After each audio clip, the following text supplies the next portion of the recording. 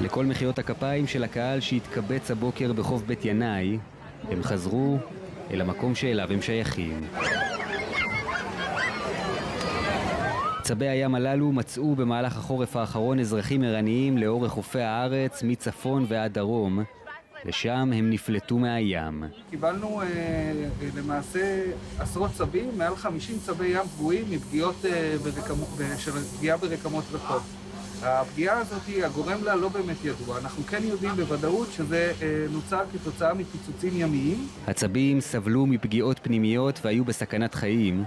בחודשים האחרונים הם טופלו ועברו שיקום במרכז להצלת צבי הים. יש שתי סיבות לש... לפיצוצים ימיים, דייג, והדבר השני הם אה, למטרות אה, ביטחוניות, אם זה תרגילים ואם זה אירועים אמיתיים.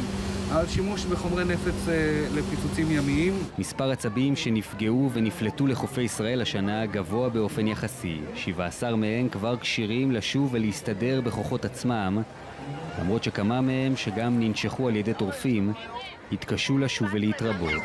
שלושה מצבי הים שוחררו שעל גבם מכשיר לווייני שיאפשר להתחקות אחר המיקום שלהם. שבעה צבים שטיפלנו בהם, אה, פגיעות הדף, ושחררנו אותם אה, לים עם משדרים לווייניים, ראינו שהם בעצם הגיעו מימת ברדוויל, אה, שזה בעצם רומז שיכול להיות שאולי שם הם בעצם נפגעים. בחודשי החורף. לצד הטיפול בצבי הים מנסים ברשות הטבע והגנים גם להבין בצורה ברורה יותר מהיכן הגיעו ומה הגורם לפגיעה בהם, הכל בניסיון לצמצם עד כמה שניתן מקרים דומים בעתיד. אנחנו מטפלים בצבים ומקווים שנפתור את זה לאט לאט, נמצא את הפתרון ונצמצם את הפגיעה הזאת. ועד שזה יקרה אפשר רק לאחל הצלחה לצבי הים המשוקמים שהחלו הבוקר אם תרצו בפרק חדש בחייהם.